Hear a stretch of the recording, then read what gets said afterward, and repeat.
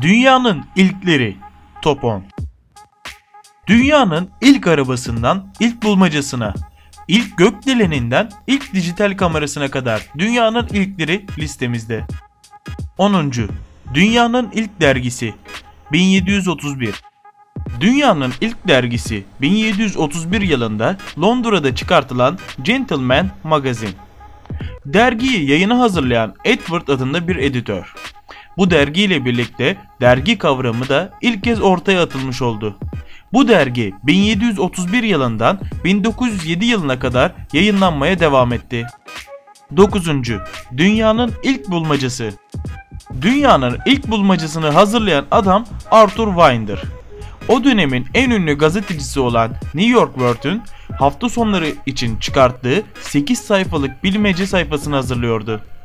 1913 yılının yılbaşı sayısı için ilk kez bir bulmaca hazırladı ve o başlangıç bulmacayı bugünlere kadar getirdi. 8.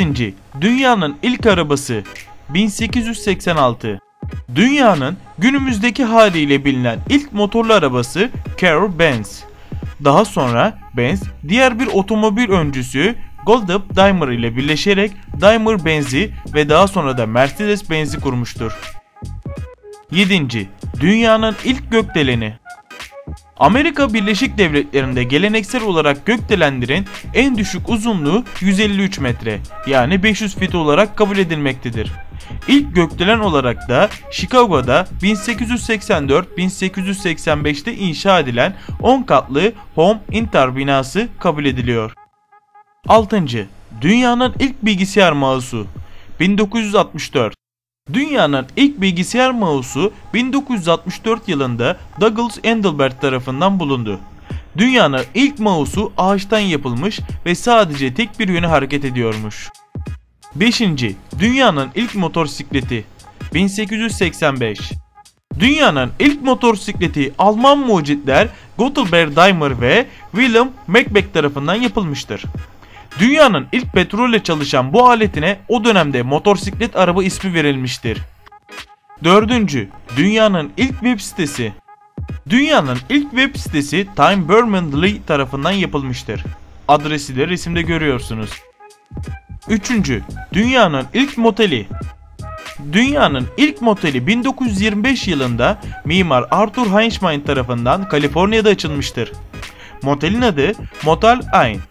İlk açıldığı zaman bir gece konaklamanın bedeli sadece 1 dolar 25 centmiş.